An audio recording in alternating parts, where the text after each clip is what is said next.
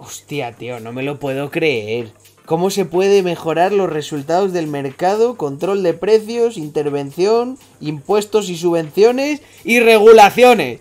El, vamos, el, o sea, pero, pero, pero, pero, por Dios, pero ¿quién ha hecho esto? ¿Pero qué economía es esta? Me cago en Dios, ¿la economía de Chávez o qué? O sea...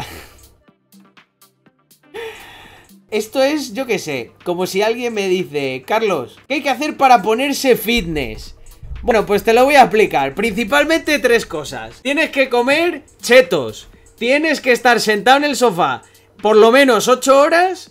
Y luego, si ves así cualquier cosa en plan por casa que tenga el más mínimo peso o algo, no la levantes. Bajo ningún concepto. No hagas ejercicio.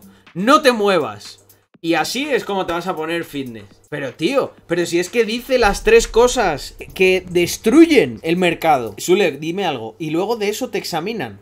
Es que sabéis qué es lo que pasa, gente. Mira, en el fondo trato de darle un punto de humor, pero ahora mismo estoy cabreado, gente. Os lo aseguro que estoy cabreado. ¿Sabéis por qué? Porque un puto burócrata de mierda es el que ha cogido y desde su despacho, en el cual no ha creado ni una sola empresa en su puta vida. ¿Por qué me dices si no hay nadie? No.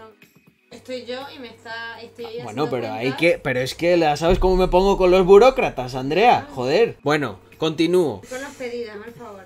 Y yo con los burócratas, Andrea. Son dos cosas importantes. Ya te he dicho, Andrea, que cuando hablo de burócratas no me interrumpas, por favor. ¿Eh? Y menos delante de los chicos. ¿Eh? No me desautorices. ¿Qué hago en día, gente? Andrea no me deja, no me deja. ¿Eh? ¿Habéis visto cómo al final la tibieza ¿eh? siempre, siempre sale? Aquí se blasfema de los burócratas con cojones. Nada de medias tintas. Gente, el problema es ese. O sea, no han hecho una puta empresa en su vida. En su vida. En su vida. Es que yo creo que les, les pones a llevar la caja de una empresa que ya funciona y tampoco pueden. Y son estos los que te van a decir cómo funciona el mercado. Pero, pero ¿de qué estás hablando tú? ¿De qué está hablando usted, señor? Puto Glan. Efectivamente, Glan, para eso me pagáis. No, no, no, no. Es terrible, es terrible. Voy a volverlo a leer, eh, gente, porque es que no doy crédito. Andrea, te rogamos que le dejes tumbar a los burócratas. Dice Bui. Control de precios. Yo tenía un profesor que me daba clases online, y hablaba todo el día sobre lo malo que era el capitalismo, y un colega activó el micro y dijo, pues Amancio Ortega no es tan malo, y toda la clase se lo comió.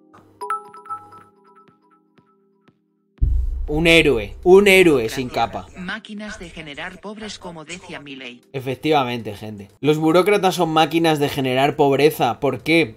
Porque justifican su existencia cuando la pobreza existe. ¿Vosotros creéis que una empresa necesita que haya gente pobre para sobrevivir? Pensad sobre esto. De verdad, vamos a reflexionar. ¿El mercado quiere que haya gente pobre o quiere que haya gente con buen poder adquisitivo para que todos puedan permitirse comprar muchos bienes y servicios? ¿Quién cojones se beneficia de la pobreza?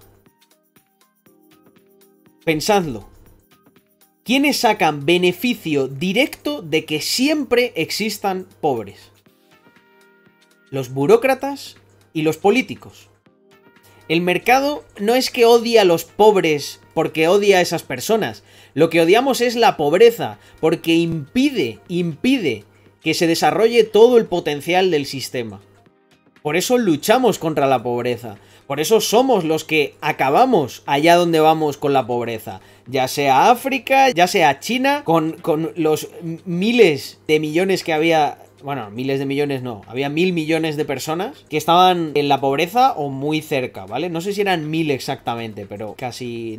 eh, ¿En China cuántos son? 1.400 millones o algo así. Empresa menos rentable el Estado, por supuesto. Necesitan que no sea rentable. Si el Estado fuera una empresa rentable, la propia dinámica por la que funcionaría haría que no hiciese falta que fuese un Estado. Sería una empresa más de servicios. Sería una mega empresa de la que todos estaríamos muy contentos, igual que lo estamos con Inditex, ¿no?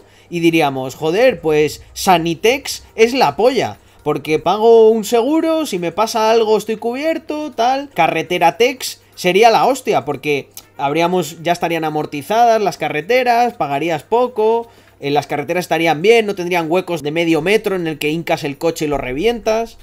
Y así todo, gente, así todo. Decía lo de África, porque hay muchos países en África que son capitalistas y, so- y tienen buena renta Lo per peor cápita. de todo es que a los chavales que he conocido les digo mal asunte, como en tono para evidenciar la barbaridad.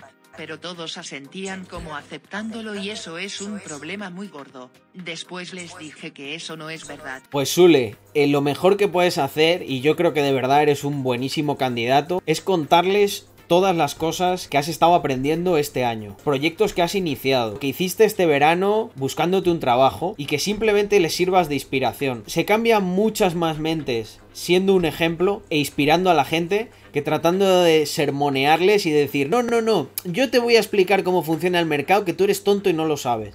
Así no, no cambiamos la mente de nadie.